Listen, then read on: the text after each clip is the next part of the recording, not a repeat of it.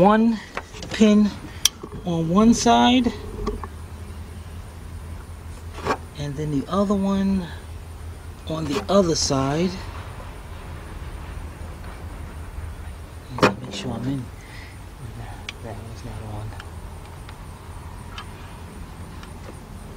Okay, so that way it makes it easier for me. All right, so what I'm gonna do